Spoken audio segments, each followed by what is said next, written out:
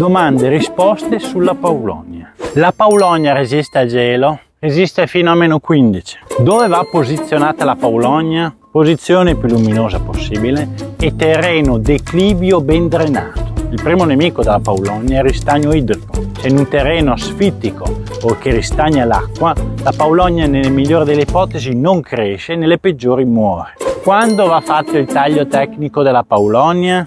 Esclusivamente quando abbiamo la pianta ancora erbacea. In inverno tende a gelare la parte erbacea e rimane solo la parte legnosa. Vi faccio un esempio qua, come potete vedere qua è legnosa e qua già parte la parte erbacea siamo a giugno, andare ad ottobre lignificherà di più, però rimarrà una punta erbacea che tenderà solitamente a gelare. Quella punta lì magari la andiamo a tagliare in una pianta lignificata così non c'è neanche bisogno, solitamente si fa il taglio tecnico nelle piantine piccole che dopo che le hai piantate ti diventano anche alte 2 metri in una sola stagione, però l'anno dopo ripartono magari a 20 cm da terra. In quel caso lì andiamo a tagliare tutta la parte gelata e da lì riparterà la ramificazione delle paulogne se ripartono 3 o 4 polloni, 3-4 ramificazioni, ma se vogliamo tenerlo ad albero teniamo un ramo e lo tiriamo ad albero. Se invece la vogliamo a cespuglio, teniamo tutti i 3 o 4 rami. La paulonia ha una forma a cespuglio. Quando fiorisce la paulonia? Molta gente ordina paulonia per la sua fioritura spettacolare perché è una pianta mellifera.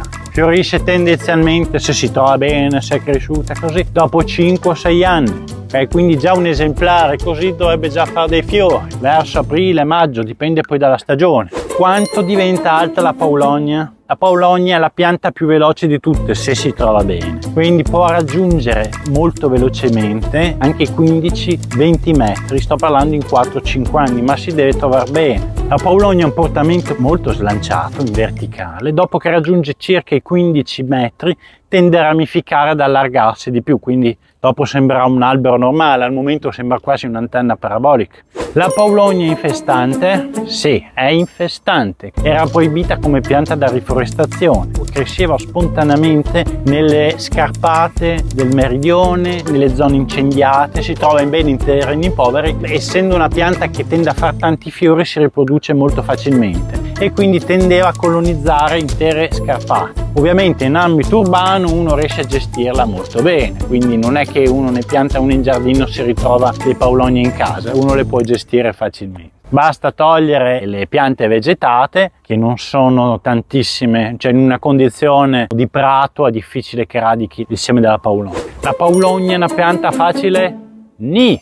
In condizioni ottimali di terreno, quindi terreno non ristagnante, terreno declivio, terreno sabbioso, è la pianta che cresce più veloce in assoluto, quindi è la più facile di tutte se uno vuole un albero a rapida crescita. La paulonia perde le foglie in inverno? Sì, la paulonia perde completamente le foglie in inverno.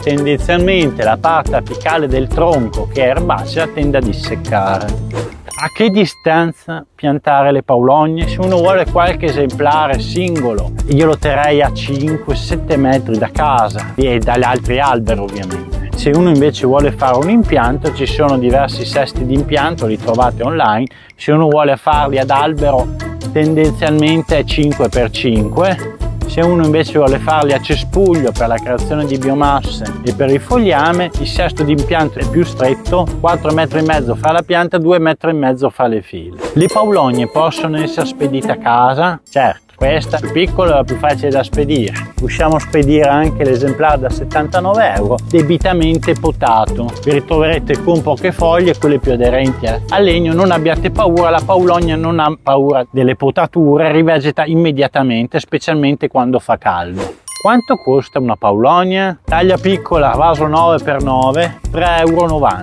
con una scontistica che arriva fino a 2,50 in base alla quantità, specialmente perché devi fare degli impianti se hanno grosse quantità. La taglia piccola da un metro e mezzo, un metro trenta costa 29 euro, già lignificata. La taglia più grande, come vedete questa alta 1,80 m fuori vaso, molto lignificata, costa 39 euro. La bestia, il terrore per gli spedizionieri, la paulogna alta 2,5 m, 3 questa qua è così in vivaio, dobbiamo potarla drasticamente per tenerla sotto 2,5 m. Vi ritroverete una pianta molto potata, delle foglie aderenti al tronco, ma non abbiate paura perché rivegeta molto velocemente in estate. Tutti i formati di Paulogna, da 3,90 a 2,90 con lo sconto, da 29 euro, da 39 euro, da 79 euro, le trovate sul sito sassigarden.com, spediamo in tutta Italia, e anche questa bestia qui, oppure le trovate fisicamente da Sassi Garden, siamo fra Parma e Reggio Emilia.